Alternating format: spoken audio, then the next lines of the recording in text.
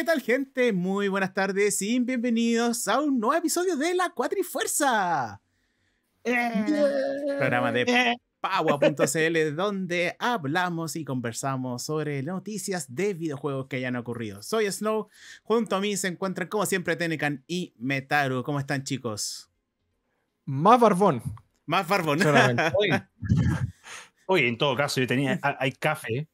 Hay café. Me fui una semana y, y, quedó ya. Todos barbones, excepto. No, los tres más barbones, bigotudos, peludos en general. Muy bien. No, yo estoy, yo estoy mal. Yo dije, no, sí, hoy día me afeito, hace como tres días atrás.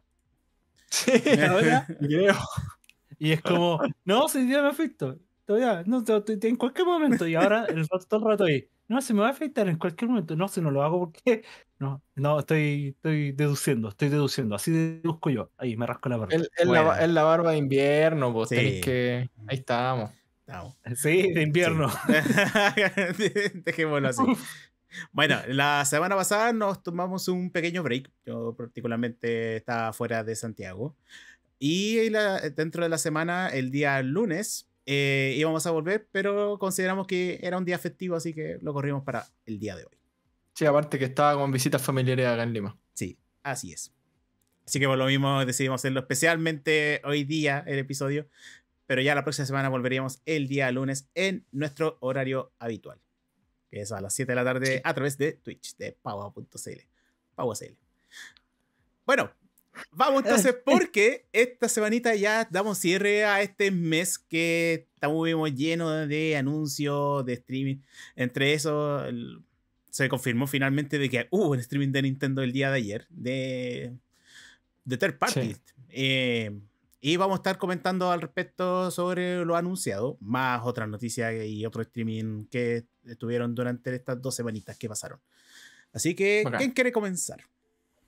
Yo. La, la, palabra ya, ponga la cortelina Tenecan. ponga la PPT. el, papel craft. Claro. Ah, ya. tenemos chorrocientas mil noticias, así que. Sí, sí. Vamos, a estar un poquito cargados esta semana. Yo creo que la voy, a, la voy a tratar de hacer corta. Porque, bueno, primero, noticia reciente igual. Eh, el otro día Hideo Kojima en Twitter que bueno, estuvimos hablando de él cuando fue el streaming de Xbox, que fue como hola y chao, así como hola, soy Hideo Kojima y vengo a ser bacán, ahora me voy. Sí. El otro día. Vino a hacer el check-in. Aparece, no elabora, no responde, se va. Sí. no, profe, póngame el uno. claro. profe, póngame el uno. Algo así. Sí, bueno. Muy rockstar. Y ahora salió esta semana eh, que estuvo tuiteando Don Hideo Kojima y dijo que estaba viendo The Voice, que es una serie que es muy conocida, está en, boca de todos últimamente. es una serie de Amazon Prime, ¿no? Que está basada como en superhéroes, pero como en el lado más oscuro de los superhéroes, es como bien sangrienta la serie. Yo no la he visto, pero me encarto. Eh, y bueno, Hideo Kojima dijo que estaba viendo la serie y que paró en el tercer capítulo o algo así, porque dijo, ¿sabéis que yo quería hacer un juego como este hace como no sé cuántos años? Y ahora, eh, bueno, que estoy viendo que se aplicó el concepto aquí, no lo voy a hacer. Algo así salió a tuitear Don, Don Hideo Kojima. Ahora, noticia extendida. El productor de la serie vio el tweet, el productor de The Voice eh, vio el tweet y le respondió a Hideo Kojima así como, compadre, usted quiere, yo le pongo la plata y hacemos un juego de The Voice. Así que... mi nuevo mejor amigo? Así le dijo. Claro, así como el Norman, el Norman Reedus ahí como atrás llorando. Y esto fue como, seamos, seamos, amigos. Sí.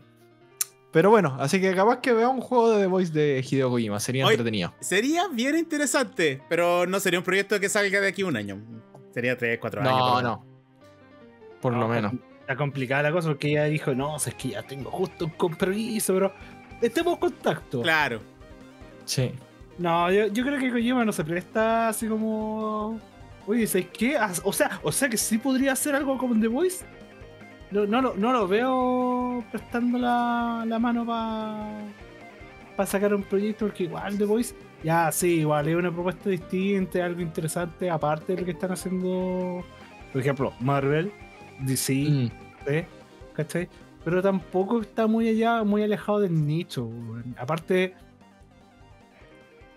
como, como que la tercera temporada tuvo este super capítulo que todo el mundo decía, estaba ya en cuatro países distintos, lo tenéis que ver, lo tenéis que ver. Y cuando salió fue como. ¿Era eso? No, no fue como la boda roja. claro, algo así. Así que. Eh. Bueno, esa fue la, la la noticia mística de la semana. Eh, salió un juego. De, nosotros hemos hablado de Take Two Interactive hartas veces en el programa. Esto, si no me equivoco, es de ellos.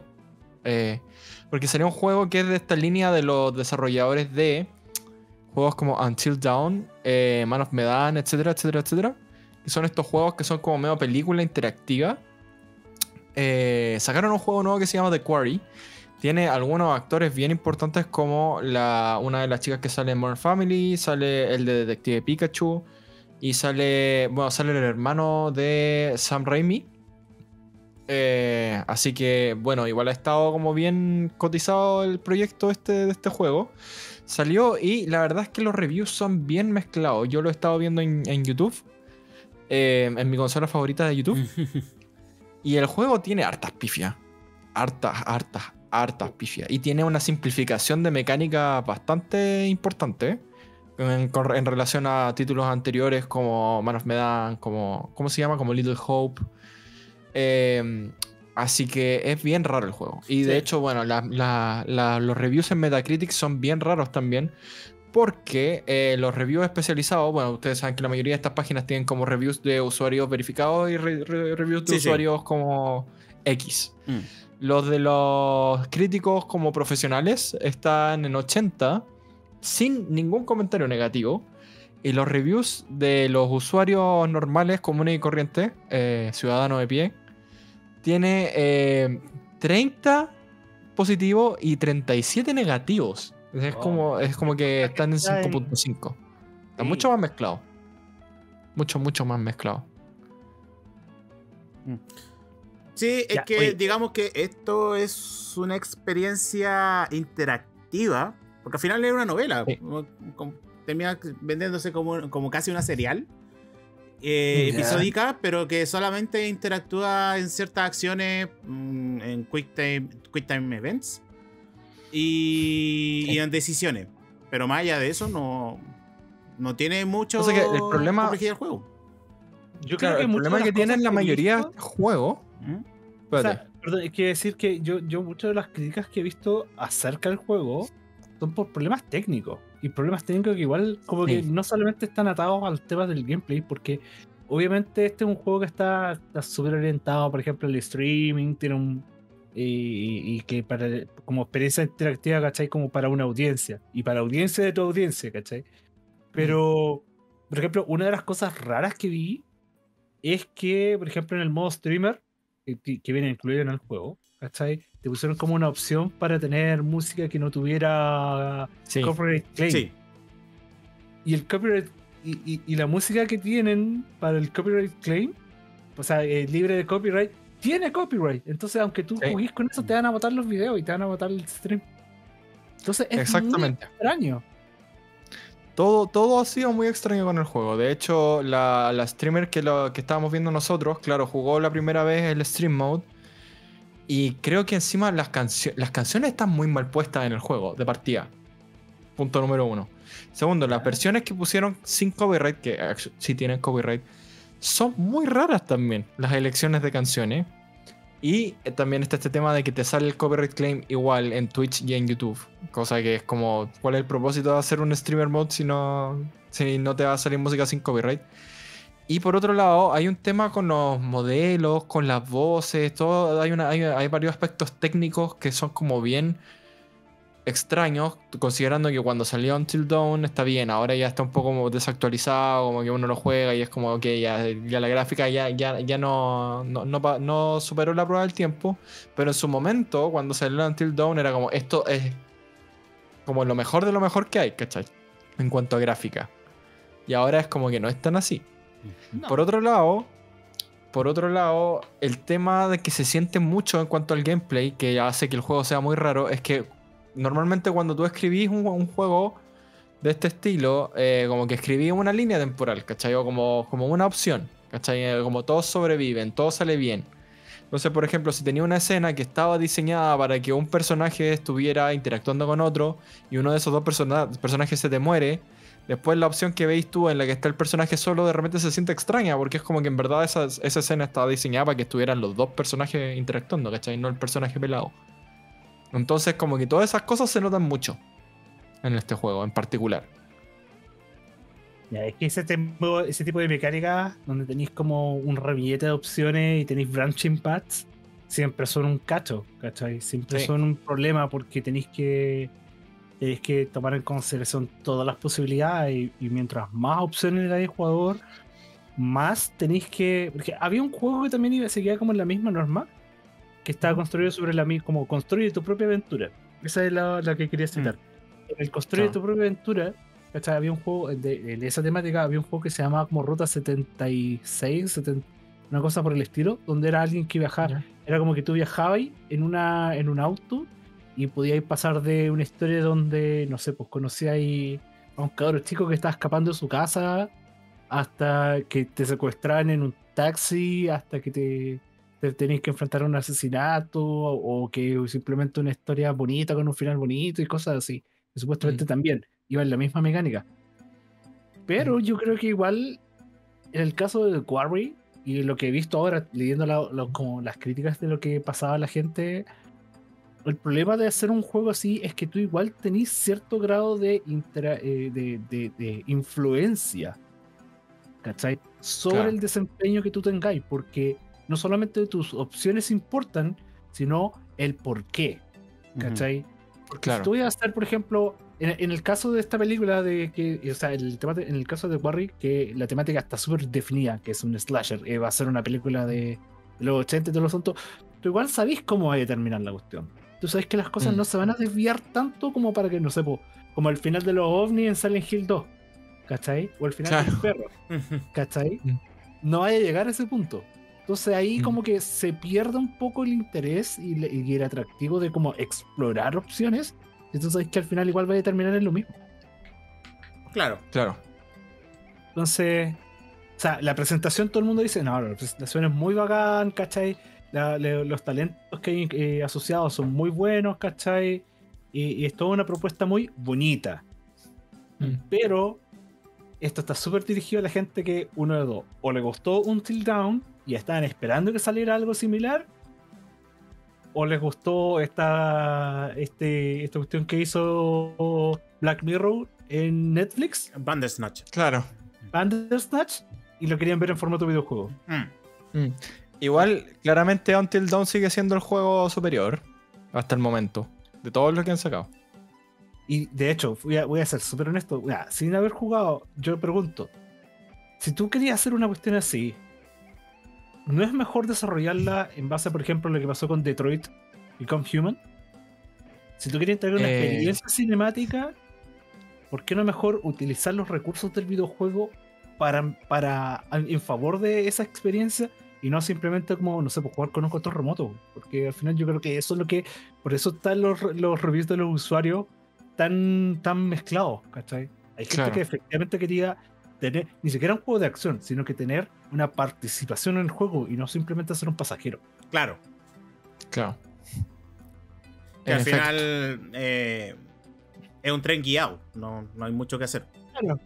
Claro, ¿cachai? Mm. Hasta el Time Crisis tiene más opciones, pues, ¿cachai? Es que si podéis tomar opciones e influenciar y el camino. Por, lo, por menos podéis matarlos tú. En, en House of the Dead tú estás participando en una película, pero te- estás haciendo algo mientras pasa. Si no, o sea, Sí, si, tú estás, si tú estás jugando un juego y estás todo el rato así comiendo cabrita, ¿es realmente un juego? ¿Cachai? Mm. ¿Te estáis viviendo? buena, buena pregunta. ¿Cachai? ¿Hay un gameplay?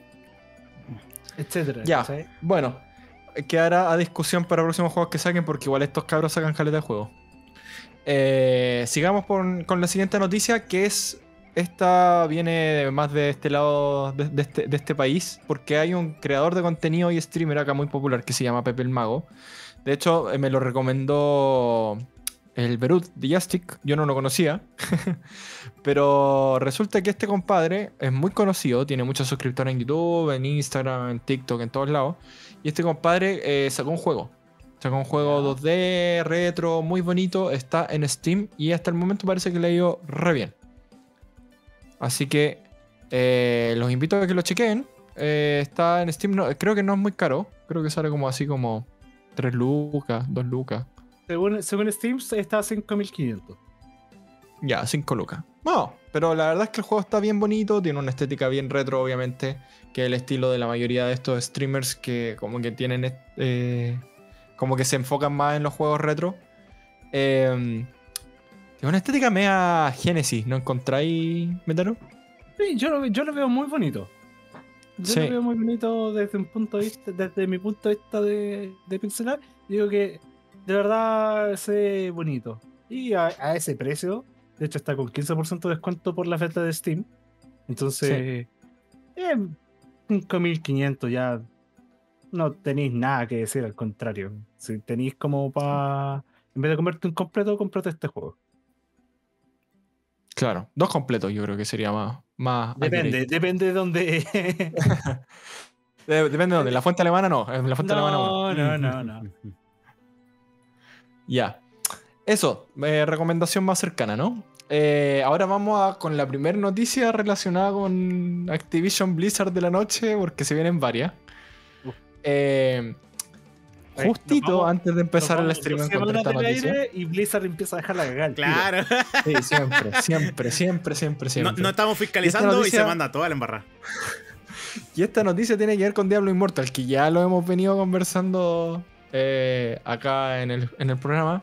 Y esto es que yo no entiendo muy bien cómo funciona el juego mecánicamente, pero aparentemente podéis comprar unas gemas que sirven para mejorar armas o mejorar ítems, ¿cierto? Entre tantas Y cosas que puedes comprar. que. Claro, resulta que este compadre, eh, Queen69, que es un streamer, nice. eh, este streamer compró una gema para mejorar un arma. Obviamente, este, la idea de comprar estas cuestiones es para mejorar como las mejores armas del juego. Y de hecho, creo que el Metaru ya había hablado en algún momento que alguien había sacado el cálculo de que para tener el mejor equipamiento del juego tenías que gastar una cantidad ridícula de plata Sí. este compadre como que tenía las intenciones de empezar a hacerlo y se gastó 6.000 euros en eh, comprarse una gema para mejorar una de estas armas. Y resulta que eh, en el stream se equivocó y la gastó en un arma de menor nivel. Y aparentemente no tenéis vuelta atrás una vez que gastáis la gema. Entonces No, el po. compadre se enojó.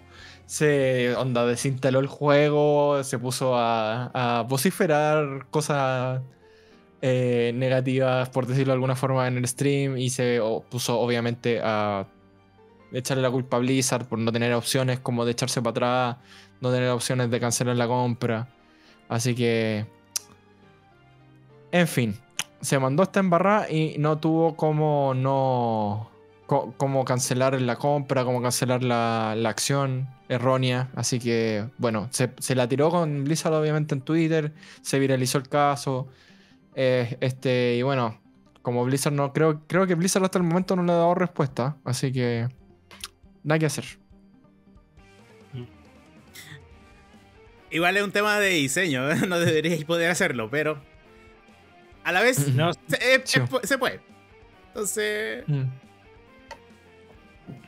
entre gastar eh, toda esa cantidad de plata para gastarlo en, en eso. Eh, Mira, la, la verdad, verdad, libre al debrío. mira, yo he visto gente Sí. que la ha pasado bien en Diablo Immortal porque, no sé, Es un diablo. no tienen esa plata. De hecho, hubo, un chiste, hay un chiste súper interesante que usted, a este senador de Estados Unidos, Ted Cruz, que admitió que él era él era una persona que pagaba por lo él era estaba abierto a pagar eh, por todas estas microtransacciones Le, le- le dicen ballena. es una ballena Está dentro del mundo del juego. Está, eh, bueno, se han mandado miles de cagadas, pero fue eso lo que definitivamente hizo que la gente finalmente dijera que era una persona horrible. Eh, Eso. ¿Cachai? Como. Ah, que no sé, bueno, hay tantas cosas malas. Y eso que ni siquiera es la primera cosa que vamos a hablar. Sí. Es lo peor. Bueno, En otras noticias relacionadas, esto está relacionado como más indirectamente con eh, Activision Blizzard, pero es que aparentemente Tony Hawk 3 eh, y 4 estaban en conversaciones, porque bueno, salió el 1 y 2, le fue muy bien, sacaron un DLC, tuvo muy buena recepción el juego, el remake, eh, y bueno, Tony Hawk aparentemente, la persona real, estaba haciendo transmisión en Twitch. Y le preguntaron y él eh, respondió de que había estado efectivamente dentro de los planes hacer un remake del 3 y el 4 combinados como el 1 y el 2 eh, pero desde que Vicarious Visions. Eh, perdón, dice: el plan según Hawk era que Vicarious Visions nuevamente estuviera a cargo del remake del tercer y cuarto juego. Sin embargo, después de que el estudio fuera absorbido, Activision empezó a buscar otros desarrolladores.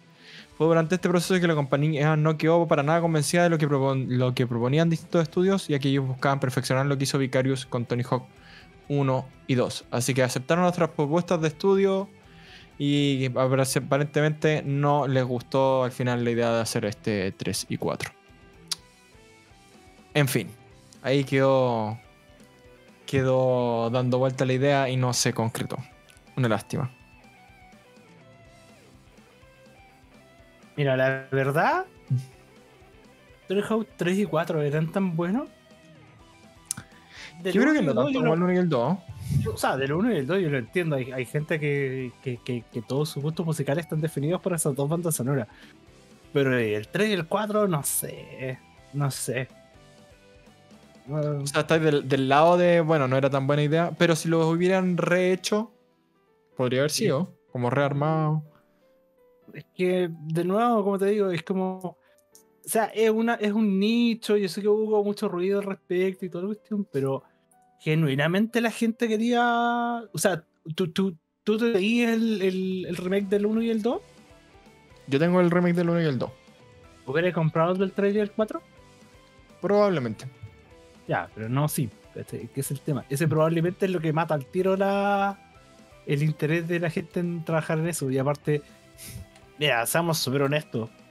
La gente que está detrás de esto probablemente tiene que pensar que la plata que tienen que gastar en licencias y el trabajo y los problemas que tienen que tomar para poder sacar esta cuestión al aire, por el 3 y el 4, mm, mm. quizás no valía la pena. A lo mejor como un DLC del 3, del 1 y el 2, pero para eso tendrían que haber construido el juego pensando en eso. ¿Cachai? Claro, bueno, hay una noticia de, de Forbes en la que se muestran que eh, es uno de los juegos que más rápido ha vendido un millón de copias, el Tony Hawk 1 y 2, el remake. Así que... igual me parece raro porque desde el punto de vista económico igual me parece que no era tan mala idea. pero es que, es que, por eso te digo, hay una diferencia. Está el 1 y el 2 y está el 3 y el 4. ¿cachai? El 1 y el 2 por sí solo son un motor, ¿cachai? Pero y el 3 y el 4 ¿Cachai? Mm. Eso te digo, es como el, el 3 y el 4, sí, son Tony Hawk, pero para el 3 y el 4, ya para ese entonces, la moda ya estaba. La cosa se habían enfriado. Mm. Mm. ¿Cachai? Ya no había tanto interés. Ya estoy seguro que puede haber alguien por ahí que te puede decir. Eh, eh, hay gente que te puede decir hay mejores juegos de skate que el 3 y el 4. Ya. Sí, eh, eh, de todas formas, eh, de todas formas, Activision Blizzard sabe dónde está el dinero, que es Call of Duty. Sí, totalmente. Pues pero bueno, esa sería la penúltima, porque la, la, última noticia que tengo es la más importante de todas, porque después del último capítulo de la Cuadrifuerza, se llevó a cabo el, el, stream de 25 aniversario de Final Fantasy VII. Yo cuando empezamos a armar la, planilla de noticias que íbamos a hablar, no acordaba que no habíamos hablado de esto. Así que estoy muy emocionado porque vamos a hablar de esto. Es que fue justo, fue justo unos días después del último programa, así que merece la pena. Justo un par de días después del, último programa. Eh, se anunciaron varias cosas, varias cosas que nadie tenía idea que iban a, que van a suceder. Se, por, eh, por ejemplo, se habló del remake versión como 1-1 que, que habíamos conversado, que era el... ¿Cómo que se llama este? El Ever Crisis. Sí. Va a haber, si no me equivoco, una beta cerrada y eh, de- dentro de todo aparentemente estaría por salir este año. Dejó de ser un juego móvil, si no me equivoco, ¿no? Ah, ¿Lo anunciaron también para Nintendo Switch o estoy equivocado? No, es- acuerdo. ese lo anunciaron para todas las plataformas. No, eh, es el, el Crisis Core. Ah, el Crisis Core. Pero el Sí. Ever Crisis, Level no me acuerdo si Crisis- lo anunciaron para más plataformas. No, creo que sigue siendo para móviles. Sigue siendo para móviles. Sí, dice iOS y Android hasta el momento. Ojalá, ojalá se avispen. Y lo saquen para Steam que sea. No, en la Switch. O que lo pongan en la Switch. Estaría muy bueno. Mm. Eh, se anunciaron también, obviamente, como siempre en estos streams, eh, un montón de merchandising. Se anunció, tal como había dicho Pato Metaru, no me acuerdo quién dijo, pero se anunció un remake del Crisis Core. Que a mucha gente la tomó por sorpresa porque, bueno, eh, no había ninguna ninguna pista, ningún, rimo- ningún rumor de que hubieran, iban a hacer un remake del Crisis Core. Pero la verdad es que se ve muy bacán. Yo eh, no tuve la suerte de jugar el Crisis Core, lo jugué un poquito una vez que un amigo me prestó una PSP, pero el juego no salió de la PSP. No estaba en ninguna otra plataforma y ya está bueno que lo pusieran en algo más. Y bueno, aparte le hicieron un update gráfico. Aparentemente, eso sí, las mecánicas de juego no las tocaron mucho, es solamente un update gráfico. Y eh, la verdad es que uno de los problemas que yo tuve yo, por lo menos cuando lo jugué, era que no me gustó mucho la- el modo de batalla. Así que vamos a tener que ver si es que efectivamente le tocaron algo más que solo lo gráfico para ver si la gente se anima a jugarlo. Pero bueno, el solo hecho de que sea el Crisis Core es como que ya mucha gente lo va a comprar y lo va a jugar y lo va a disfrutar. O sea, es que si ya tenéis, ya tenéis todos los assets que, que tenéis de Final Fantasy VII Remake, a- hacer Sí. Crisis Core era un tema. Sí. Bueno, entre otras cosas que se anunciaron, también se anunció la nueva temporada, la temporada 3 de eh, Final Fantasy VII de First Soldier, que no sé quién está jugando esta cuestión en verdad. Probablemente en Japón. Sea la única parte en la que lo están jugando todavía. Que es el... ¿Cómo es que se- ¿Cuál era el término? ¿El Battle Royale de Final Sí, Fantasy VII? sí, que es un una cosa Royale. muy rara. Una al futuro. Sí. Y bueno, lo que todo el mundo esperaba, y de hecho yo creo que la mayoría de la gente estaba escéptica de que actually iban a mostrar esto porque eh, si todavía si todavía no se no pareciera que fuera a salir pronto el Final Fantasy eh, XVI, que bueno, está anunciado para marzo del año que viene, si no me equivoco. Era incluso menos probable que se mostrara algo de Final Fantasy VII Remake Parte 2, pero lo mostraron. Así que cumplieron con eh, mostrar qué es lo que se está trabajando para el remake parte 2. Mostraron algunas partes de gameplay. Mostraron, bueno, diálogos. Mostraron... Además, se anunció finalmente que el remake va a consistir de tres partes. Final Fantasy VII Remake va a ser la primera parte. Este que anunciaron ahora que se llama Rebirth o Re- Renacer en español. Todavía no estaba confirmado el nombre en español, pero bueno, la traducción directa sería como renacer o renacimiento. Eh, va a ser la segunda parte. Todavía no se sabe hasta qué parte del juego original llegaría en cuanto a la historia. Hay conjeturas, pero nada, nada claro todavía. Y posteriormente va a haber otro eh, para hacer como el último y sería una, al final una trilogía. Ahora, también se confirmó que los tres, re- los tres Final Fantasy de Remake van a partir con re- eh, Remake, Rebirth y el último todavía no le ponen nombre, pero va a ser Re algo. Salieron muchos memes diciendo que va a ser Revengeance como el Metal Gear Racing. Pero, pero bueno. Eh, entre otras cosas, se mostró, por ejemplo, la escena de Nibelheim, que es un, para la gente que jugado el original, es como una especie de flashback en la que se ve que eh, se, en la que se ve a Cloud interactuando con Sephiroth en esta en la parte en la que Cloud explica cuál es la historia que tiene él con Sephiroth eh, cómo es que Sephiroth llegó a ser como el enemigo principal del juego porque bueno los que jugaron el remake o han jugado parte del Final Fantasy VII saben que durante la mayor parte del primer capítulo de, de este primer eh, parte del juego como que el enemigo fuera Shinra, ¿no? Pero una vez que llegas a la torre de Shinra es como, ok, hay otro malo más allá que es Sephiroth. Y bueno, en la parte de Nibelheim es como que se explica más en detalle cuál es la relación de Sephiroth con Cloud y la- el resto de la party, con Shinra, todo. Así que muy interesante. Otra cosa muy interesante que eh, se mostró en el trailer, que no está confirmado tampoco, es que, bueno, en esta parte Sephiroth está acompañando a Cloud, pero da la sensación de que Sephiroth fuera un personaje jugable, cosa de que no ha sido nunca posible, más allá de, creo que un juego de pelea de Play 1 que se llama. No, bueno, ¿cómo se llama? Ear Guys, algo así. Sí, Pero en ningún otro juego. Bueno, en el Smash, obviamente, eh, podéis jugar con Sephiroth, pero fuera de esos, de esas, de, esa- de honrosas excepciones, digamos, nunca se ha podido jugar con Sephiroth en otros juegos. Así que sería bacán que se pudiera jugar con Sephiroth en esta edición de Final Fantasy VII. En ese juego de pelea que era el Square de Final Fantasy no se podía jugar con, con Sephiroth. No me acuerdo. Es que es- hay uno, hay uno de Play 1 que se llama como Air Guys. No sé, es que está, el- Eh. Está el otro que era como de, lo- donde estáis como volando y podéis jugar con Ah, en el. Dissidia. En los Dissidia sí se puede En jugar. Dissidia. Pero bueno, son juegos de pelea, po. no hay ningún juego como de historia en el que puedes jugar con, con Sephiroth. Me sorprende. Me sorprende que no podéis jugar con, con Sephiroth considerándolo Sí, portátil no me acuerdo si hay uno. Hay uno que es sobre los turcos que está para. Para móviles que no me acuerdo si ahí podéis jugar con Sephiroth tampoco. Pero bueno. O sea, en los Mira, móviles sí, pero lo adaptan porque son como un multiverso de Final Fantasy en No. un adicional, etc. Sí. caso, cualquier caso, Sephiroth no, es- no es la gran cosa. Ahora, si te dejaron jugar con Ariana Grande, ahí te creo. Claro. Pero Sephiroth, ahí nomás, po. ahí no, no es gran cosa. Bueno, pero me, me complace decir que Square Enix cumplió con lo que tenía que hacer. Así que.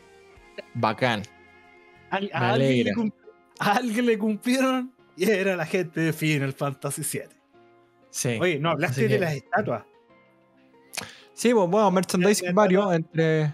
La estatua de Tifa, eso no la mencionaste. No, esa, esa, esa no la. De hecho, creo que no la, no la mostramos en la Cuatrifuerza. Eh, hace como. Hace un tiempo No, pero atrás, hace sí. tres semanas o cuatro semanas, como que hablamos de la noticia igual. Sí. Pero. No, esa no es oficial. Porque lo que pasa es que mostró la estatua de Tifa también en ese momento y también nosotros que venía una misma estatua pero de Barret. Claro. Sí. Pero bueno, sí, pues mostraron, mostraron estatuas. Hay una de, de este personaje nuevo que no me acuerdo cómo se llama. Y una de Cloud. Y hay aritos.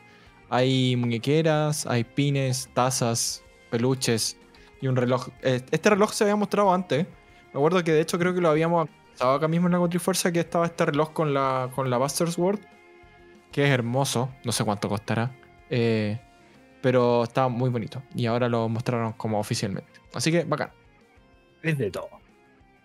Para todo Hay y para todos los todo. presupuestos, menos el mío. Exactamente. Esas serían mis noticias por el día de hoy. Bueno, Le hago el pase a acá o acá. Pato, ¿sabes qué? Yo tengo puras noticias muy malas. ¿Queréis que parta yo Bueno. o vais tú? dale, dale, parte tú.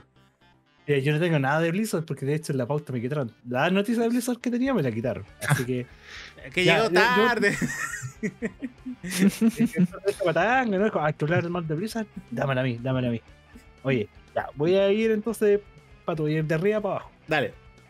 Ya, voy a partir entonces. Gente, yo sé que ustedes a lo mejor tienen arriba, arriba de 30, tienen que conocer esto, pero para la gente que no, hubo un tiempo donde existía el concepto de los fanzine. De los fanzine, o los sin, en realidad. ¿Qué son los sin o los fanzine? Son básicamente publicaciones o compilaciones, ¿cachai? Compendios que realizan los fans en torno a un tema, una franquicia, etcétera, ¿cachai? A veces esto se hace eh, por, eh, como, un- como algo, como un producto para vender, o eh, se hace como gratuito y todo el asunto. ¿cachai? Es como porque nos gusta dar cosas, juntémonos y presentemos. Y puede ser arte, puede ser cómic, doujin, lo que sea. ¿Cachai? Puede ser para adultos o no. Uno de estos fanzines es un fanzine que se llamaba Showtime. Y digo, se llamaba, porque ya no, todavía existe, pero está comprometido. Y estaba basado en eh, específicamente en Persona 5 y más específicamente en la relación eh, de amigos, no tan con ventaja que tenían Joker con, eh, con Crow. Cuando la gente cacha Persona 5, Sí. saber quiénes son. El, el, el pelinegro con el pelirrubio. ¿Está bien? Mm. O sea, ese, ese fanzine solamente se podía vender en el mes de junio. Después de eso era ilegal. El problema es que, bueno, esto es un proyecto comunitario y como tal no, hay una empresa detrás, no está obviamente endorsado legalmente, o sea, oficialmente, no legalmente, pero no oficialmente por Atlus, ni por Sega, ni por nadie, y por ende todo esto es súper informal. El problema está en que lamentablemente tuvieron que salir los organizadores a avisar por, eh, por las redes, por Twitter par- particularmente, que eh, el proyecto se quedó sin fondos. Después Quedó de que habían. O sea, quedó cero peso. Lo cual fue como, "Ey, ¿por qué? Lo que pasa es que ellos hicieron un fundraiser, lograron la cifra de 21.300 dólares para todo lo que fue la, la- la impresión, la distribución, el merchandising, todo el asunto. Pero toda esa plata se había desvanecido. ¿Por qué? Porque uno de los moderadores no encontró nada mejor que tomar toda esa plata y gastársela en Genshin Impact. Te pillamos con padre.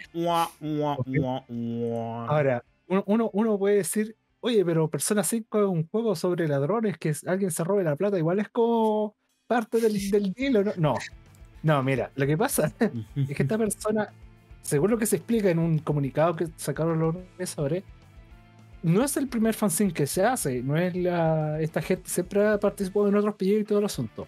El problema está. Es que toda la plata se manejó a través de la cuenta personal de la, una de las personas que organizaba. Y si tú tenías en tu cuenta de PayPal 21 mil dólares y jugáis una cuestión como Genshin Impact que está diseñada para sacarte la plata y tú decís uno más, después devuelvo la plata y después te das cuenta que acabas de gastar 20 mil dólares, o sea, yo, yo sinceramente tengo que preguntarle a la gente que cacha de Genshin Impact cómo, cómo llegáis a gastar tanta plata en el juego, cómo, cómo. Tirando estrellitas, ¿no? Fu. Fácil. No vive en Latinoamérica. Pero, no, pero de verdad te podías gastar tanta plata de una en el juego. Sí, si ¿Por qué estáis, esto si no estáis muy metido en la pasta, sí. Y por eso uno, ¿Cuánto en el- pillaste eh, de- u- u- de uno cuando tiene la posibilidad fija límites. Fija alertas. Entonces, igual, obviamente, ya dentro de este comunicado dicen que la persona, lamentablemente, esto como es todo un proyecto no oficial, que no tienen, no, no se pueden tomar acciones legales, y lo único que lograron es que este moderador, esta persona, literalmente les devolviera 3 mil Dólares. Y el resto se perdió. El resto ya no existe. Entonces, lo único que les quedó es tomar. Tomar. la- avisarle a la gente, decirle, lamentamos lo que pasó, vamos a tomar esta plata, vamos a tratar de hacer lo que podamos para enviarle a la gente todas estas cosas. Y el resto, eh, vamos a tener que hacer otro fundraiser para poder cu- recuperar los fondos y poder así finalmente mandarle la- las cosas a la gente. Porque si no, porque ni siquiera tienen la plata para hacer ref- eh, reembolsos. Entonces, es, es brígido, porque Sí. de verdad, yo, yo, yo, yo no, yo, ¿cómo, cómo, en qué, en qué cantidad de volumen de plata tenéis que gastar para poder quemar 20 mil dólares? Porque igual, según el artículo que está... que- Mira, en, en Diablo Immortal te, te demoráis 5 minutos. Sí, no, no, no, no porque igual Genshin Impact yo sé que es un gacha y vos tú tienes que inyectarle plata hasta que la cuestión salga, ¿cachai? Hay gente que solamente obtiene cosas nuevas cuando, no sé, cuando te regalan de la currency que tienen en Genshin Impact. Y que tampoco no es necesaria, pero... Pero, pero, pero el tema es como... ¿Cómo? ¿Cómo? ¿Cuál es el camino para gastar esa cantidad de plata? Porque incluso dicen, es posible que no se haya gastado toda la plata en Genshin Impact, pero sí gran parte, ¿cachai? Onda como que estuvo viviendo a costa- con plata robada de todo ese tiempo y es como... En fin, el tema es que esto, no, no sé si la gente de mi joyo a lo mejor se, se tratará de acercar con ellos o, o- o la misma comunidad, pero igual es No. un precedente de lo que hemos No. hablado de cómo Creo que los mi juegos amigo de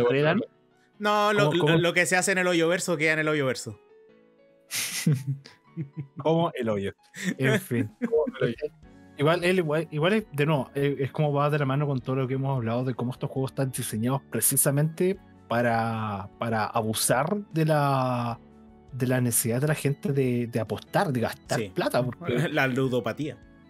las ludopatías son brígidas y son capaces de hacer esto. Son- Es, es terrible. La ludopatía de la seducción.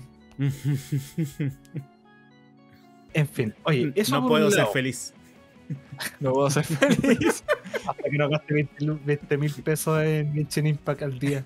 Hasta, cons- conseguir la misma waifu, pero en 5 estrellas. Mm. claro. No, bueno, de hecho, uno de los comentarios que hace la gente es como, finalmente, las waifus de Genshin Impact son mejor que los bandos de, de Persona 5. Hay Sí. más plata ahí. Ahí está la plata. Oye, eh, eso por un lado. Ahora, igual, es un tema completamente diferente. Y quizás esto es un tema más serio, así que me lo voy a tomar con un poco más de, de seriedad. Eh, mm, todos estamos conscientes de la discusión eterna que ha habido sobre que los videojuegos violentos generan personas violentas. Y a lo largo de los años se han realizado múltiples estudios al respecto, sin que ninguno de estos estudios genuinamente haya logrado eh, establecer un vínculo entre, o una, una correlación entre, entre estos fenómenos. Claro. Eh, algo que quizás no está tan estudiado, pero que sí ha estado mucho en boca de todo, es el tema de la sexualización o el contenido, ni siquiera el contenido para adultos, pero sí la sexualización que existe en los videojuegos. Claro. Por ejemplo, si yo les digo eso, yo por ejemplo digo, ¿se acuerdan de Mortal Kombat 9? ¿Se acuerdan de los, de los diseños de los personajes femeninos en Mortal Kombat 9? Ya, por ahí, comparados como, como, son en Mortal Kombat 11, ya, como por ahí. ¿Cachai? Em, eh, y ante eso, eh, un estudio que también se publicó hace relativamente poco, que fue publicado eh, en un en un ¿cómo se llama? por parte de la, u- de la Universidad de eh, Stetson. Siempre vamos a poner, hay que poner- no sé cómo podemos poner de- de bibliografía, porque cuando uno cita estudios tiene que poner la bibliografía, pero ahí Sí, lo vamos a pe- poner pe- pero fue una, un estudio y que se fue publicado en una revista de ciencia. Sí. No, no es como de eso, como hay estudios que dicen, ¿dónde? Mm. ¿Cuál estudio? Hay Claro. estudio, investiga. No, este sí es un estudio que sí se publicó, hay papers asociados todo lo asunto. Bueno, Sí. eh, según las investigaciones que hizo Christopher J. Ferguson, que fue un, es un profe- un profesor de psicología que trabaja en esta universidad, a lo largo de 20 años de estudio y de investigación, se logró determinar relativamente de forma lógica que no existe una correlación entre la sexualización o cómo se presentan los personajes o, los videojuegos, la influencia que esto pueda tener, como por ejemplo que los jugadores eh, de género masculino se conviertan en personas misógenas o que las personas de género femenino se puedan eh, ver a sí mismos con problemas de dismorfia o con baja autoestima, etc. Como que haya una correlación entre la sexualización que existe en los videojuegos y eh, la percepción misma de la sexualidad en los jugadores que juegan estos juegos. Ya. Claro. Y una de las razones por las cuales también se publica esto es que, si bien es cierto, ha habido mucha discusión sobre el impacto que esto tiene eh, a lo largo de, no sé, los últimos 10, 15, 20 años incluso, es, eh, eh, mucho está basado única y exclusivamente en el moralismo. Estoy leyendo casi textualmente. Mucho se está basando mucho en el moralismo y en la hipérbole pero con muy Mm. poca evidencia de que este tipo de contenido está causando un daño en la percepción de que las personas tienen de sí mismas y del concepto de sexualidad. Ahora, obviamente el, el artículo y el, y el paper va bastante en detalle cuáles son los procesos que se realizaron para poder realizar este, este tipo de afirmación y para poder llegar a esta conclusión. Eh, y, y es bastante es, es bastante lógico en, el- en la investigación que se hace. Eh, y de nuevo, como dije, vamos a dejar la, la bibliografía ahí para que la gente que realmente esté interesada lo pueda leer, porque igual es bastante bueno. Eh, igual es interesante ver de que para los estudios de la violencia en los videojuegos sí hay mucho interés y ha habido bastante trabajo investigativo para poder buscar una correlación o para tratar de certificar si es que existe esa correlación. Pero para esto, que quizás ha sido un tema que ha habido tanto o más discurso, eh, no ha habido tanto interés en una investigación seria. Claro, entiendo el punto. Y, eso igual no, no, es como decir como vivimos en una sociedad, pero sí como para, para decir como por ejemplo, igual es interesante que eh, para un tema que tomó muchas portadas y tuvo mucha discusión y del que incluso nosotros también tuvimos en algún momento un, con Chido también un tema de discusión hace un par de meses atrás. Eh, igual es interesante ver que finalmente, por lo menos según este estudio, eh, no hay, no hay un vínculo. Mm. No hay un vínculo. Aunque igual, de nuevo, es, es, es, difícil tocar este tema, a diferencia de, por ejemplo, la violencia, que yo creo que quizás es algo mucho más tangible. Mm. Eh, eh, y de hecho, es mucho más tangible desde un punto de vista que no tiene un, sesgo de género.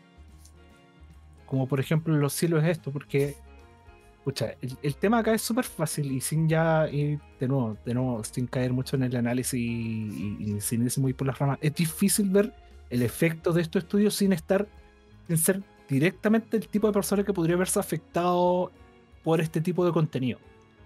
Claro, pasa, pasa que yo creo que la diferencia radica en que el discurso sobre el tema de la violencia tenía que ver con el ser el jugador un, eh, un ente activo en la violencia dentro del juego. ¿Cachai? Como yo soy el que dispara dentro del juego.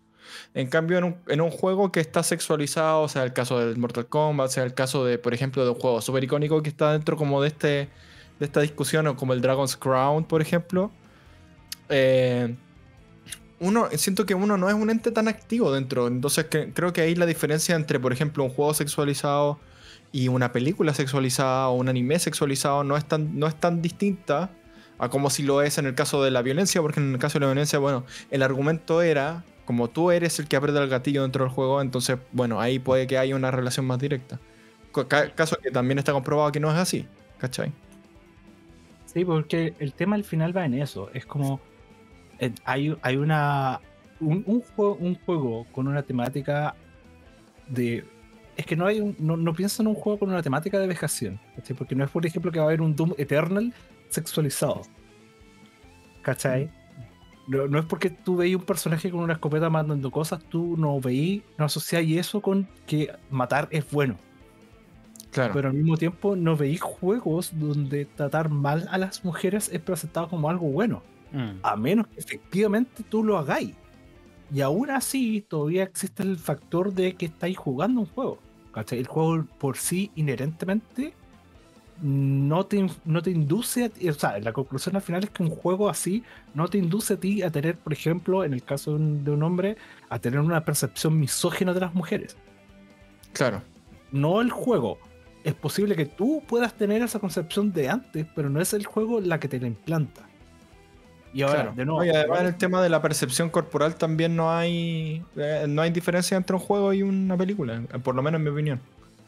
Creo en esos casos yo a mí igual me gusta como mucho citar lo que pasa en, en, em, en, Scream. Porque uno de los personajes en Scream dice que, por ejemplo, las películas no hacen a los asesinos. ¿Cachai? Solo lo hacen más creativos. ¿Cachai? no me acordaba de eso. Y no la vi hace tanto. Era una, película que, si querés, tiene esa frase y, y, es como me hace mucho sentido porque al final de no.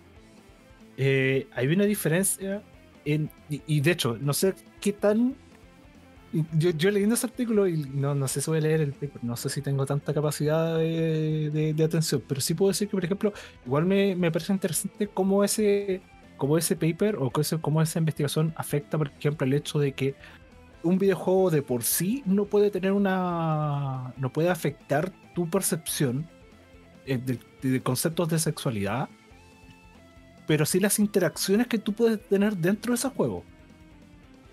¿Cachai? Porque en un juego hoy en día, en un universo donde tenemos como interacciones de multiplayer en línea, son e- esas interacciones sí capaces de eh, afectar tu percepción de, de un tema. Mm. ¿Te das cuenta? Entonces, es como ya, ya no es como antes, como por ejemplo, no sé, por la época del Play 2, que tú comprabas un juego como, no sé, pues GTA y sabíais que a lo mejor en algún momento podías controlar tú la matabas y recuperáis tu plata. Y esa es una elección de vida que tú tenías. No, po. ¿Cachai?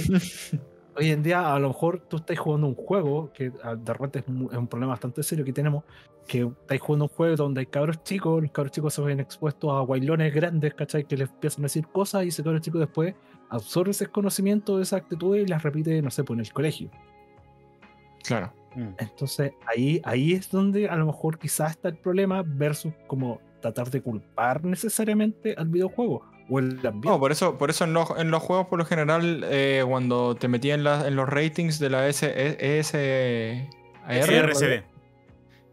E-. Esa misma. eh, eh, eso eh, dice, bueno, interacciones online no, no afectadas por este rating, porque es como que es otro universo, es otro tema, ¿cachai? claro. Y no es Sí. como que lo puedan hacer tampoco. No, el- lamentablemente es otra vara que se mide. No, no es con la que pueden Sí. definir una crítica de un juego, porque al final es una Claro. interacción y es parte de la naturaleza humana. No. Y, y esto es lo Claro. que hemos visto, por ejemplo, en muchos videojuegos en línea que, por ejemplo, hoy en día que son conocidos por ser eh, nidos de gente con ciertas tendencias políticas, por ejemplo. Mm. Eh, como lo que pasa, por ejemplo, en Mordhau, que la gente hoy en día dice, mira, si, ti- si tú no creís que, que... Si tú crees que Hitler no hizo nada mal, juega Mordhau. Y es como, "Ah, hermano, no quiero meterme en ese tipo de cosas. Dale, dale de mí, por favor. No hables nunca más, gracias. No, por favor, esto en doggies. Claro. Hermano, está en la fila del dog, cállate. Sí. Claro. Oye, sigamos porque está muy buena Sí, sí, discusión, pero sigamos- muy poco el tiempo que, que he contado. Sí. Eh, no, no. Es un tema aparte, a lo mejor ahí. Mm. Sí, Sí, pero podemos abordarlo en oh. un futuro no muy lejano. Ahí, ahí lo podemos ver en ese momento. Oye, otra cosa. Eh, lamentablemente, como Pato me quitó mis noticias, yo me quedé así con pocas noticias, así que voy a tirar dos anuncios de lanzamiento que se tiraron relativamente hace poco y son bastante interesantes. Uno es que quizás para muchos no sea más o menos conocido, pero existe un eh, juego de arcade que es, una, una serie de juegos de shoot 'em que se llaman Rey, Rey Z, por, por si queréis ponerle, utilizarlo, eh, que son bastante populares, que fueron eh, desarrollados por Taito en su momento, cuando Taito todavía existía, y que anunciaron, a ver, el 27 de junio, hace como dos días atrás, que va a haber una colección de 1, 2, 3, 4, 5, 5 títulos en una colección que va a salir, obvio, para todas las plataformas. 4, 5, o sea, y va a salir para Play 4, y, perdón, miento, o sea, salir solamente para Play 4 y Switch. O estoy leyendo la noticia como la corneta, pero no importa. Lo que importa es que va a salir esta remasterización. Y si hay alguna vez algún shoot 'em up que yo debería recomendar, un juego de arcade que yo debería recomendar, es este. Y el pato a lo mejor ahí cachó que, que, que un video, por favor, tíralo porque de verdad el juego es muy bonito. Y es uno de esos juegos donde yo puedo decir con total certeza que la banda sonora es maravillosa. Y me gusta mucho. Por eso estoy muy contento y estoy anunciando. Eh, lo que más me llama la atención es que no va a salir, va a salir solamente para Play 4 y Switch. Y Sí, bueno, es muy raro. malo- y lo único malo es que está anunciado solamente para Japón por ahora. Entonces va a ser uno de Mm. esos distintos momentos donde voy a decir, oh, me los voy a comprar a través de mi linda distribuidor favorito, mi, mi distribuidor favorito de juegos de Pirata Bay. Claro. En fin, eh, eso por un lado. Otra cosa que quizás también es un poco más conocido. Eh, Atari anunció una colección, una recopilación para celebrar sus 50 años. Y es como, ¿Ya? ¿Atari tiene 50 años? ¿Todavía existe Atari? Bueno, la cosa es que sí. También existe, eh, existe Atari, es un publisher, todavía está vivito y coleando. Y este, y esto sí que va a salir para Play 5, Xbox 4, Play 4, Xbox One, Switch, PC. eh, y, y PC va a salir por Steam, no va a salir por. Sorpresivamente no va a salir por Epic Games. y no en su consola. Eh, Ya. Y bueno, ¿qué va a incluir esto? Va a incluir eh, 90 juegos que van a ser eh, parte de toda la colección de consolas que en su momento tuvo Atari. Que va a ser el Atari de arcade, van a ser juegos de arcade, Atari 2600, 5200, 7800. Li- Atari, Oye, va a tener juegos de Atari Lynx y Atari Jaguar. Wow, Wow. Esa, esa- esa- persona que está diciendo, no puedo esperar a poder jugar todos esos juegos de Atari Jaguar que vi una vez en un episodio de Angry Video Game Nerd. Es como, en mis tiempos, en mis tiempos, es, raro, que de verdad no, no puedo pensar a alguien que genuinamente esté emocionado por esto. Mira, Pero lo- supongo- lo- lo- dentro del Oye, sí, tráiler, igual sí. dentro del tráiler, Un lo único histórico. que se podría considerar como interesante es que van a incluir seis remasterizaciones. Sí. Uno de esos, una de esas remasterizaciones, eh, eh, creo que era el, el juego de esa como juego de aventuras que inventó los Easter eggs. Ya, No sí. sé, Sí. y, Bre- y Breakout, que es Arkanoid, y para toda la gente que cacha. Mm. y- En fin, la cosa es que esto va a salir para todas las consolas. Va, viene con. Wow, como uno de los features que tiene es que va a venir con todo desbloqueado. No hay que desbloquear nada, no viene con DLC. Sorpresivo, lo sé. En fin. Eh, bueno, como, como es ya tradicional en, esta, en estas recopilaciones, eh, va a haber harto contenido extra como videos, timelines, museo, retrospectiva, etcétera. ¿cachai? Va a haber como harto material de, con- para leer y reflexionar al respecto. Es como, wow, es- en, en verdad la gente hace 50 años jugaba con esto. En fin. Oye, y dice por ahí cuánto va a costar, porque a mí como que igual me interesa, ¿eh? Yo Mira, creo que lo- va a costar 50, 60 dólares. algo así. Así, no, no hay. No hay un precio anu- anunciado todavía, pero sí está para todas estas cosas. Eh, de hecho, yo creo que quizás uno de los puntos, unos selling points más importantes que puede tener esto es el hecho de que van a incluir juegos de Jaguar.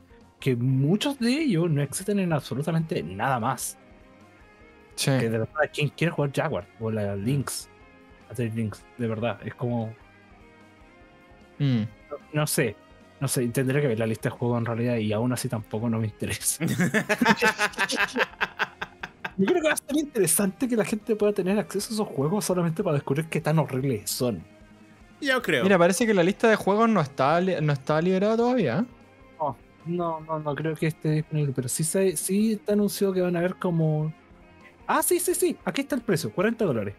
Nah, ya. ¿En serio? 40 Ah, mira. Razonable. Sí, Anniversary Collection. Ya. 90 juegos clásicos, sí, son 90 juegos. Mira, la verdad, soy súper honesto, los juegos de Atari, de verdad, como replay value, no tienen, tienen como cero. Yo creo que quizás los juegos de Jaguar, quizás ahí hay como un valor histórico en tener eso, pero fuera de eso, Mira, yo, yo creo que va a servir para hacer un speedrun de perder en 90 juegos. va a llegar, va a llegar el papá de tu papá a decirle, mira, en mi tiempo, Claro. En mi tiempo. Y bueno, de todas maneras, igual muchos de estos juegos, eh, sobre todo la mayoría de los juegos de Atari, son de Atari. Así que no sé si existan eh, Pitfall, que quizás son como algunos de los más icónicos. Pero si vas a ver quizás a Asteroid, va- vaya a poder jugar Pong en la Play 5. Ese yo creo que es el selling point. Mejor, mamá, mejor mira. gráfico, mejor gráfico. De mi abuela cuando dijo que la Play 5 va a valer un millón de dólares, un millón de pesos, Claro. Estuvo ahí un chongo jugando Pong en tu Play 5. Y es como, ¿para qué? Sí. ¿Qué? No sé, igual tiene, tiene, un, Ujú. una, tiene un appeal para mí. Quiero, quiero ver esas, esa, esa foto de alguien diciendo, no, este es el futuro de los videojuegos y tú jugando Pong en Play 5. O, Sí. o Asteroids. En fin. Esas son todas las cosas que yo Bueno. tenía respecto, Pato, de verdad. Yo quería decir, hablar más de Blizzard, pero yo no, no- me quitaron la noticia, así que. No, para que no, para que no fuera tan rancio hoy el día. sí. Hoy día me llevo lo rancio. Hoy día me llevo todo lo rancio. ¿Te toca a ti la noticia? Dale, pato. Empecemos con lo menos rancio. Finalmente hubo Nintendo Direct. Después de los miles de postergaciones, de falsos rumores, el día lunes había anunciado de que se iba a realizar uno, pero no de Nintendo, sino que relacionado con third parties. Juegos que otras compañías Sí. lanzan para Nintendo Switch. Y entre los anuncios, que hubieron varios, a decir verdad, eh, se encontró de que eh, mostraron el trailer y final de la expansión del Monster Hunter, el Sunbreak, Sí. que va a salir tanto en Nintendo Switch como en PC, en paralelo. Sí. Y sale mañana. Sí. Ahí Tenecan ya no sé si lo tienes reservado, si hasta lo tienes listo. No, sí, de hecho to- todavía no tengo la plata para comprármelo, pero sí anunciaron ahí, no sé si te puedo hacer la... sí, sí, dale. meterme en la noticia. Anunciaron el Shagaru Magala, que es mi monstruo favorito que no estaba en este juego. Y la, la música es, la, la- es de los mejores temas que tiene Monster Hunter desde el 1 hasta el, el momento. Ya, Así que me emociona mucho ese, ese monstruo en particular. Bueno. Y no me acuerdo qué más anunciaron. Sí, anunciaron que iba a contar con cuatro actualizaciones gratuitas. Así que tenías el, juego, Sí. la expansión. Y que obviamente ne- necesitas tener el juego del Monster Hunter. el Race. Sí. También anunciaron de que va a llegar Nier Automata el 6 de octubre. Finalmente. Verdad. Anunciaron un nuevo juego de Annapurna, Lorelei Ante la Rise. Que es un juego tipo misterio que hay que intentar resolver. Está bastante. Muy profesor Layton. Sí. Y la noticia que fue como la más what the fuck es que mataron Superman Bomberman R para Superman Bomberman R2. Sí. Literalmente. Sí, así como de la nada. Y que sí, habíamos hablado en el último programa sobre el Bomberman y que nos pillamos con esta sorpresita de que va a salir un nuevo Bomberman para el 2023. Creo que va a ser gratuito. Otra de las novedades es que va a llegar el Ba- Mega Man Battle Network Legacy Collection para el 2023. Ese nadie lo esperaba. Es- Ese sí que fue una. Fue como, ¿what? Sí. Y Pac-Man Sí, World o sea, Repack, rumores, pero. que Sí, es eso- una versión de las aventuras de Pac-Man, va a estar disponible también el 26 de agosto del 2022. Yo solo quiero decir que Man Battle Network Collection es un sueño hecho realidad. Yo lo quería hace mucho rato y probablemente es compra día uno. Por favor, Pato, continúa porque podría hablar media hora de esa web. Sí, no, pero sobre todo para los coleccionistas eh, que querían el título, estaba muy caro tenerlo. Eh, Es una grata sorpresa contar con esta colección. Y que obviamente se suman a, a otras colecciones que ya han lanzado de otros Mega Man. Encima son 10 juegos, loco, 10 juegos. Sí, ya, Pero siguiendo. Blank. Cinco nomás, hermano. Sí. Un Son Blank, eh, 10 un- juegos. Sí, eh, Blank que es una aventura de, de dos zorros que intentan sobrevivir una vela visual y que obviamente va a estar sumamente triste. Se ve muy lindo ese juego. Sí. Eh, otro de Sí. los títulos que se mostraron es el Return to Monkey Island, el cual ya habíamos mencionado de que se estaba trabajando y que va a llegar para Sí. Nintendo Switch este año. Exclusivamente. Sí. Y eh, mostraron Mario Rabbids Spark of Hope, y lo cual hoy día hubo un streaming dedicado a ello por parte de Ubisoft y tuve un poquito más de detalle de, de la aventura que, que va a estar entre Mario y los, de- los Rabbids. Y Esos conejos. Sí, esos conejos. Y con la novedad de que la, la banda sonora, le mostraron el streaming de hoy día, va a estar Grand Kickoff con Yoko Shinomura. Qué gran es- mezcla. Sí, ahí va a estar Qué sumamente gran bueno. mezcla. Eh. También mostraron Little Noah, Sion of Paradise, que ya está disponible para la consola. Eh, otros títulos que mostraron fue el Ray Grade, que llega para eh, otoño, primavera para nosotros, de este año. RPG Time, The Legend of que es un- como un RPG que se lleva a cabo en un librito y que todos los dibujos están hechos con grafito. Se está Sí, ese- bastante... ese. Sí, Ese está muy es- lento. ese se ve bueno. Mostraron una vez más Fro- Sonic Frontiers. Creo que mostraron Sí. más contenido que el resto de los trailers que habían mostrado. Eh, eh, durante todo el mes se ha mostrado harto contenido, Sí. pero han habido. Tony Frente se las arregló para tener sus propias. sus propias- Sí. Otro juego que se mostró fue el Disney Dreamlight Valley. Que eh, ves como una aventura dentro de este universo que va a ser tipo. No sé si va a ser como un tipo de Animal Crossing de Disney. Parece. Tiene toda la pinta. Hmm. Tiene toda la pinta. Eh, y otro de los títulos que se mostraron fue Life Alive, que va a salir ya pronto. Sí. Ya se ha mostrado varias partes y que ya está disponible una demo para que lo puedan jugar. Sí. Que va a ser de los lo- dos, dos pr- dos primeros episodios, si me no me equivoco. Tres. 3. También eh, mostraron que va a salir un nuevo Doraemon Story of Seasons, Friends of the Great Kingdom, para este año. Por si necesitáis más juegos para poder cosechar. Sí, mostraron un Sí, poco más muy de del estilo de. Stardew Valley. Confirmaron que Minecraft Legend va a estar llegando para Nintendo Switch también. Que lo habíamos visto en la presentación de Microsoft. Y Dragon Quest Treasures va a estar llegando el 9 de diciembre de 2022. Este es como un spin-off del, del Builder, si mal no me equivoco. Más o menos. Así. Más o menos.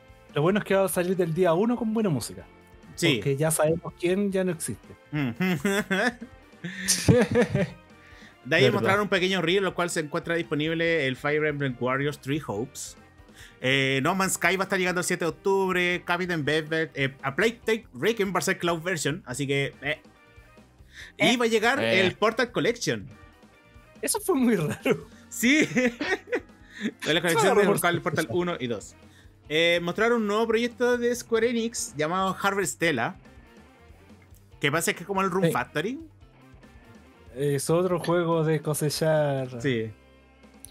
Otro Stardew Valley. Sí, Y finalmente tuvimos la noticia que confirmaron Persona 5 Royal, el Golden que va a estar próximamente y el de que salió en PSP, el Persona 3.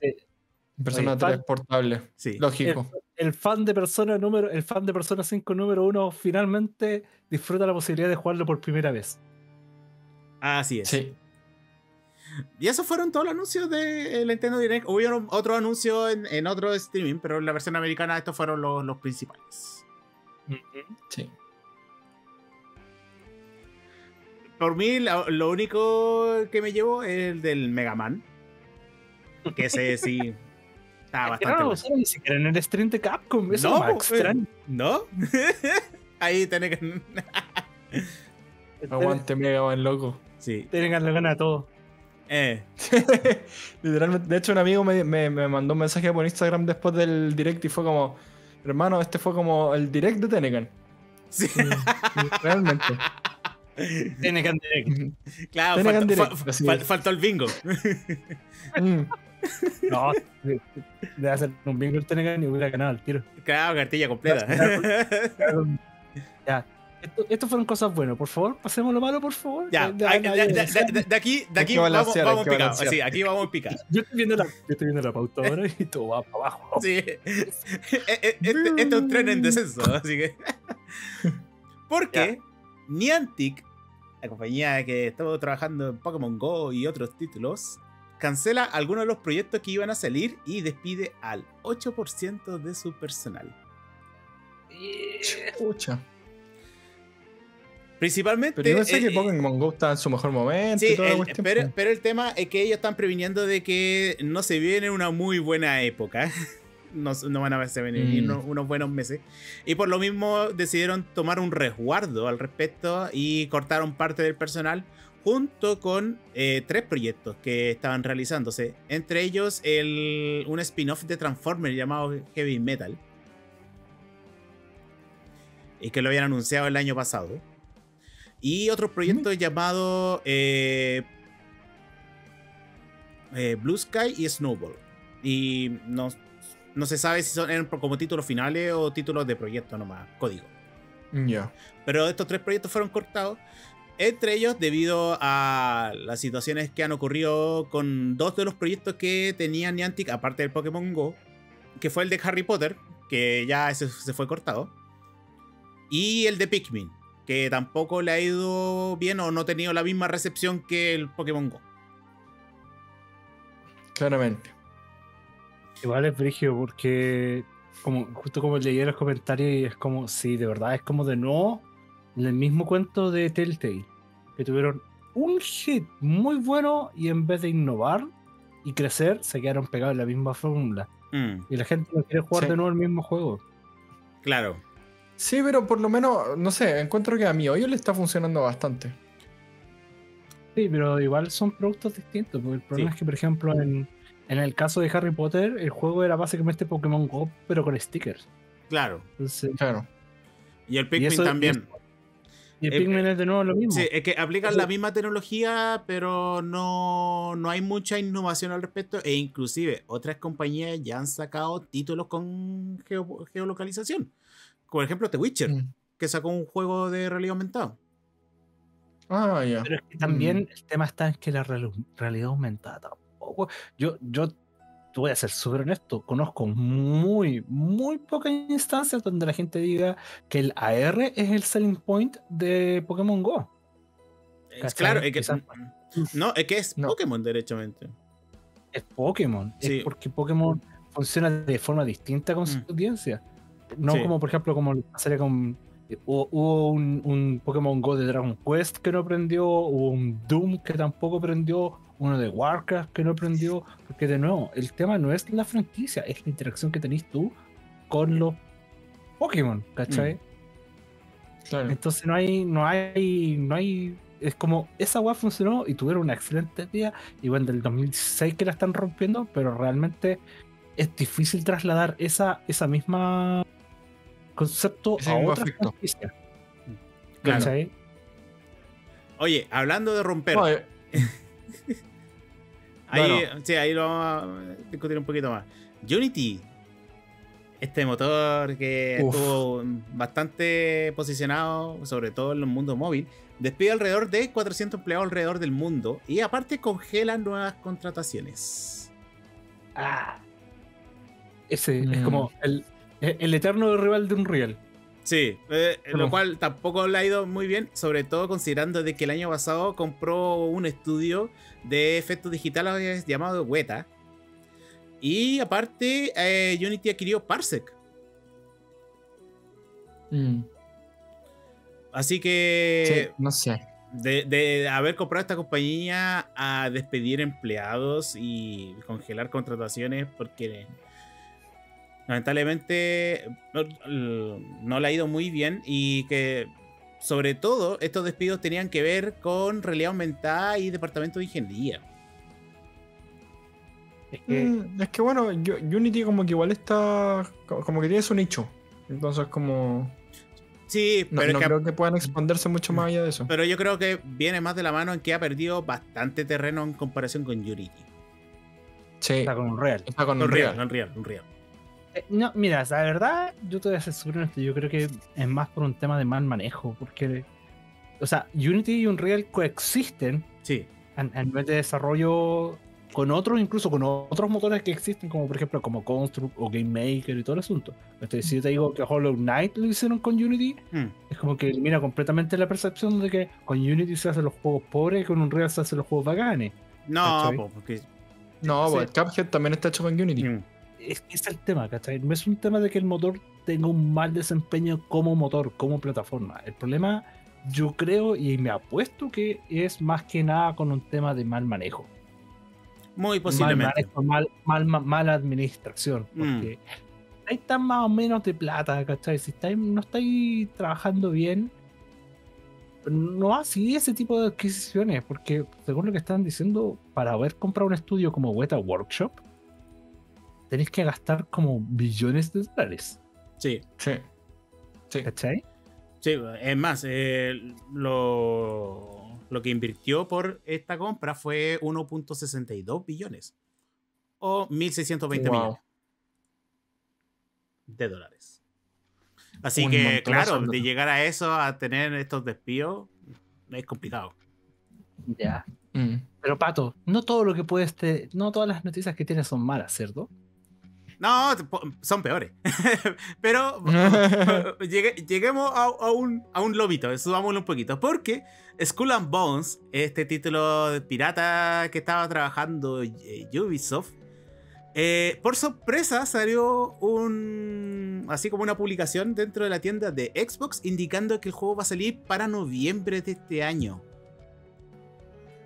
Mitch. Qué bien. específicamente el 8 de noviembre y fue justamente un usuario de Twitter que encontró que en la tienda digital de Xbox salía listado la fecha.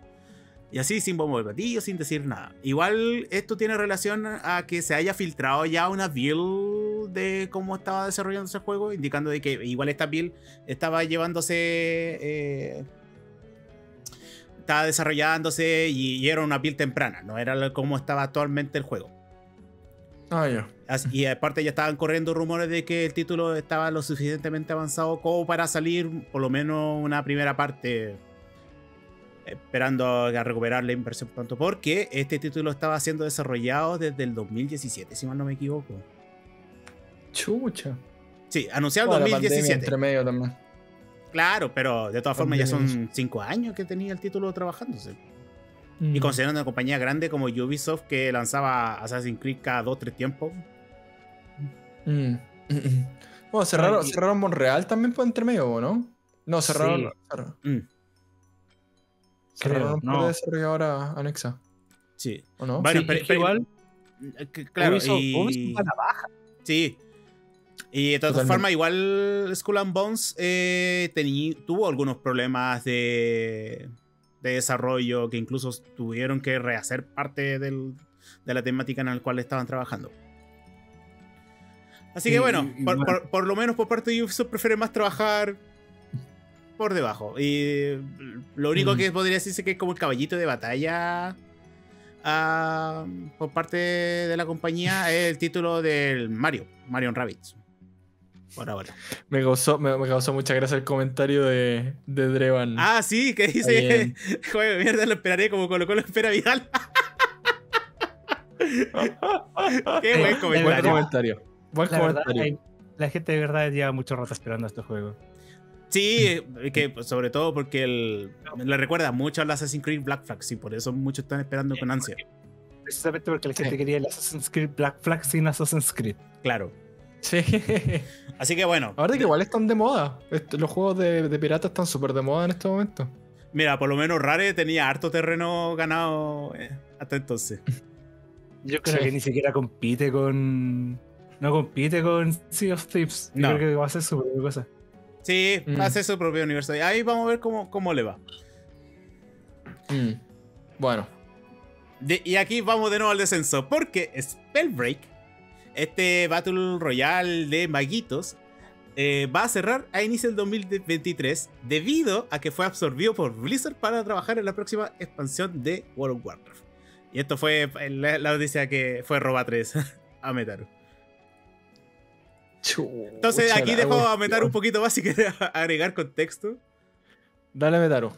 Ya, yo. Ah, ya, mira.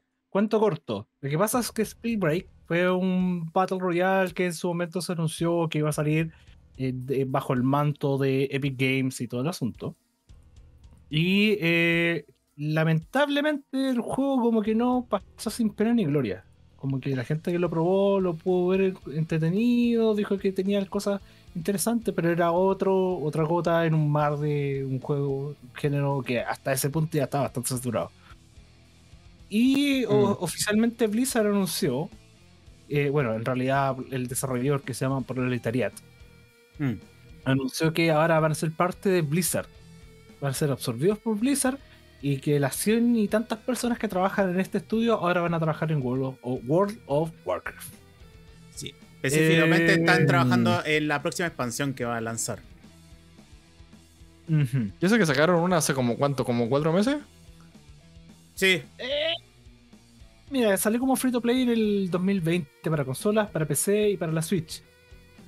Y tenía, hasta cierto punto, tenía crossplay.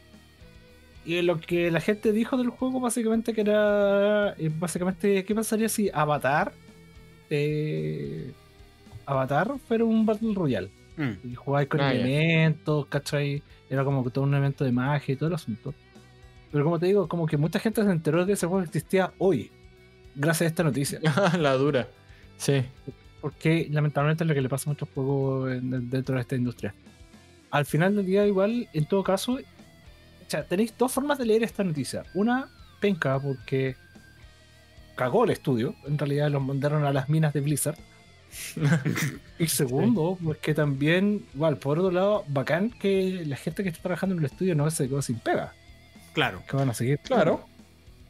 Pero también es como lo, lo malo que pasa en estos casos cuando un estudio es absorbido por otro, es que hay gente que sí, va a seguir ganando un sueldo, va a seguir, va a seguir trabajando y va a estar bien, pero la gente que buscaba algo más, cierto grado de independencia o tener sus propios sus propias visiones o sus propios proyectos, cagaron. Tenéis que hacer skins para World of Warcraft.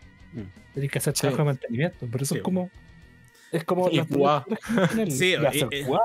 Sí, y lo otro, está trabajando para Activision. Ah, Sí. Mientras pagáis las cuentas, bacán, ¿cachai? Mm. Pero no, es como. Tú lo veías. No sé, yo creo que no, no, es, no es el mejor momento como para que te compre Blizzard tampoco. Hace, hace un par de años podría haber sido, pero ahora es como. No, No, o, sea- que o sea, ahí- yo creo que igual es un buen momento considerando que todavía no se concreta lo de Microsoft. Eh, hay, hay, hay mucho por decir. En realidad, igual, Sí. en cualquier caso, la noticia de que un estudio muere y es absorbido para trabajar en World of Warcraft me parece igual eh, fome. Fome, penca, porque en realidad también eh, esto está en, en- en- en parte por el hecho de que World of Warcraft tiene esta nueva expansión que viene Mm. y que en realidad también está probablemente de nuevo eh, eh, quedándose fuera del deadline que ellos mismos se habían puesto. Posiblemente.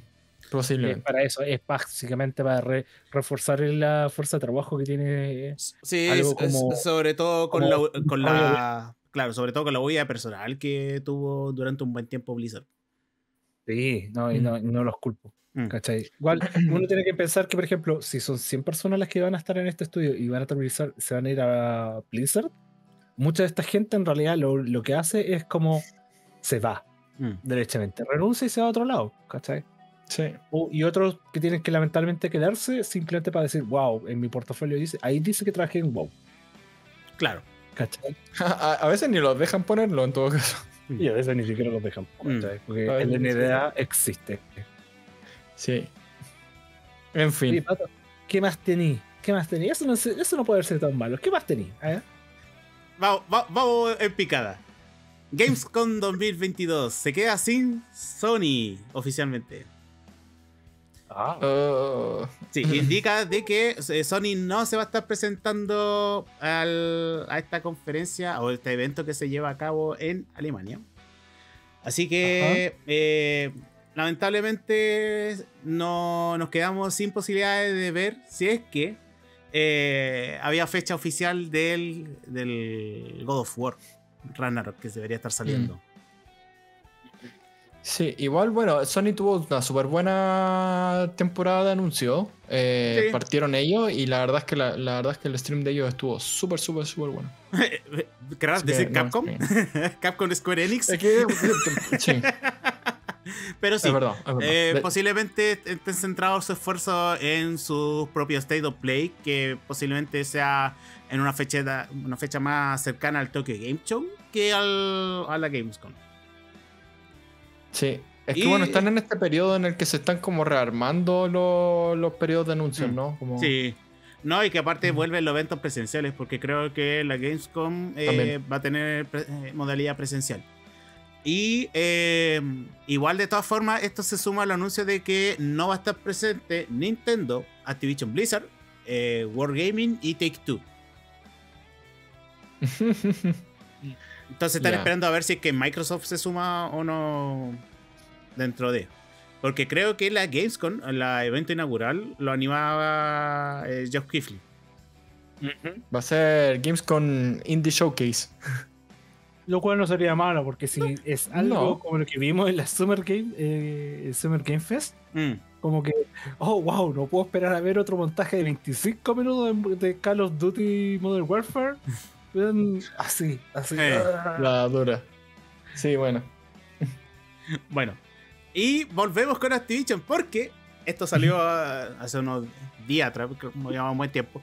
Los accionistas de Activision Blizzard votaron para que se generara un reporte anual de acoso que estaba siendo solicitado tanto por ellos como por eh, entidades, por ejemplo, la, la alcaldía de Nueva York. Y ante lo cual la compañía dijo que lo va a considerar. Ah, se están haciendo los longi. Sí, como en, por- en buen chileno. Porque Activision Blizzard no quería que se juntaran y no querían que votaran para que se generara este reporte. Me pregunto Sí, no, de hecho, no salió hace, hace unos días también hacer un reporte de alguien dentro de Blizzard que dijo que, los sindicatos eran malos para la industria y no sé qué, un montón de cosas de ese estilo. Hagamos un especial de Blizzard y hablamos mal de Blizzard. no. Especial No, de Activision Blizzard 2.0. Ah, Ni siquiera hablar de más de Activision. De la última vez no fue una especial de Activision, solo coincidió el hecho de que estábamos hablando de ética laboral en la industria de videojuegos y justo Activision Blizzard fue nombrado durante casi todo. Pero mira, que. O sea, de esto, sumado a la mano de que Activision Blizzard sacó su reporte donde dijeron: No, nosotros no hicimos nada mal. Fuente, yo. Sí. Así mismo. Así que. No, y hay noticias peores, pero esa fue como la que queríamos rescatar, ¿no? Sí, no, sí, hay más, hay más- hay más noticias. hay más Sí, noticias por ejemplo, que el, pero- el- el Bobby Corry fue confirmado para quedarse en el puesto. Es como, eh, eh, Bobby Corry. Sí. Y es como, mm, mm, ah, como que algo no cuadra con Activision Blizzard. Sí, no. Mm. No hay caso. como dice Trevan, Atlas el mejor lugar para trabajar. Remoto. Claro. y por remoto me refiero lejos de ahí. Sí. Lejitos, por favor. Eh, sí. Eh. Bueno, eh, en noticias editoriales, FestiGame 2022 anunció sus invitados nacionales e internacionales. Y entre ellos, hoy día mismo se confirmó que Mika Kobayashi eh, va a estar presente en el evento. Sí. Para que Ahora, no saben- la gente. Eh, sí, eh. por favor. por favor. No, te Ah, dejo a ti inventar mientras yo abro la, No. la, la pauta. Sí, oye, oye. Es que el pato la tuya. Ese sapo de. Hablan de noticias pink, pato, tú estar una la ahora. Pero buscando así puramente, ¿qué hizo Mika Kobayashi? Festigame le anuncian como eh, una de las personas que cantaba uno de los openings de eh, Ataque eh, Shingeki. Ataque Shingeki. Ataque Shingeki, ¿cachai? Pero a la gente de cultura que nosotros cachamos, recordamos que Festigame es un juego de. eh, un evento de videojuego. Mm. Eh, eh, Mika Kobayashi es parte de la banda sonora del Xenoblade Chronicles X. Sí. X. Y eh, muy probablemente también muy conocida por ser la persona que canta eh, eh, par- es parte de la banda sonora de Kill la Kill. Si Mm, ustedes también. piensan en ese Mm. tema de Don't Lose Your Way, Lose your way. exactamente, que por lo demás hasta decir que la Kill cumple nueve años. Oye, No te tiempo. puedo creer. Qué rápido pasa el tiempo. Nueve, nueve No, es, años uno de los primeros, es uno de camino. los primeros animes que vi con mi pareja. Oh. No lo puedo creer. Nueve No años creer. de no perder el camino. Sí. Ahora la pregunta es, ¿yo iría a ver Festigames? ¿Sí, ¿Iría a Festigame por, por solamente volver a verla cantar ese tema? Mm, lo dudo, lo dudo. Es como No. ir al... eh, Es como ir a Lola Palusa para escuchar un tema. No, gracias. Claro. Oye, muchas gra- gracias Devan, Drevan Gaming por darte una vueltita. Ahí, obviamente, el capítulo lo vamos a subir a YouTube, así que no te preocupes. Ahí va a estar disponible, nos podemos eh, indicar dónde se va a subir al final del episodio. Pero entre eso, búscanos en YouTube como paua.cl. Ya, Muchas gracias. sí. Ya, sigamos. Eh, ¿Terminamos? Estamos Sí, listos. no, sí, pero por eso tenía que abrir la pauta. editoriales, Sí, editoriales. Porque eh, dentro de los invitados confirmados en FestiGame, para que no vea que, que va a estar Vika nomás, está Gerardo Vázquez, reconocido actor mexicano de doblaje y mítico personaje como Megatron, Nick Fury, eh, Meowth de, de Pokémon y Escanor de Siete Pecados Capitales. Puros videojuegos. Ah, Sí. Eh, También va a estar presencialmente eh, Miguel Ángel Leal, Mike, eh, laureado actor mexicano de doblaje de personajes como Eren Jaeger de Shingeki no Kyojin, Ash Ketchum de Pokémon, Taishi Yamai y de Digimon y Meliodas de Siete Pecados Capitales. Y obviamente va a estar presente en la competencia de cosplay eh, Cocoa como dentro de uno de los jueces y va a estar desde México la dupla Twin Cosplay. Ya. Ya. Y dentro de las bandas que va a estar presente en FestiGame se encuentra Anime Rock Project. Sí. Así que no te sientas mal, Tenecan. porque Sí, no te porque e- esta vez FestiGame como que no está yendo mucho a game. No. Sino que está centrándose a hacer un evento más global. O sea, y por Eh. global es como voy a ver. Va, o sea, este Banner Festival van a ver muchos, muchos cosplays de Attack on Titan. Así que Como que lo hicieron muy temático. como que se fueron un, tan un poco cargados para la cuestión. Y yo estoy seguro que la señora que se, ven- se pone afuera a vender las capitas de, de, de Attack on Titan la va a hacer de oro ese día. Dato. Los calcetines. Estamos Los pasando el dato. de.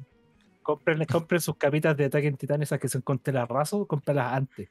Claro. antes, para que no les llegue esa que viene con, con ese parche cosido pegado con, con Agorex. Sí, por ahí. Ya. De antemano. Sí. Bueno, y ya con esto damos cierre a esta edición de la Cuatrifuerza especial del día miércoles, porque este programa se transmite los días lunes a contar de las 7 de la tarde en nuestro canal de Twitch que es Paua CL. También nos pueden encontrar Ya. en www.paua.cl donde podrán revisar artículos, noticias, reseñas, no solamente de videojuegos, sino que también de cine, televisión, eh, libros y mucho más. Además nos pueden encontrar en redes sociales como paua.cl o paguacl, dependiendo de la red social. Nos pueden encontrar en Facebook, en Instagram, en Twitter, en YouTube y en Twitch. Y este capítulo va a estar disponible el día de mañana a través de YouTube. Chicos, sus redes. Arroba técnica en todos lados. Arroba MeterUPX en todos lados. Y con esto nos despedimos. Nos estamos viendo la próxima semana. Cuídense y ojalá no la afecten la lluvia que se viene el fin de semana. Eso, chicos. Nos Cuídense. vemos. Cuídense. chau, chau. Yo quería justo ir a jugar a la pelota el fin de semana.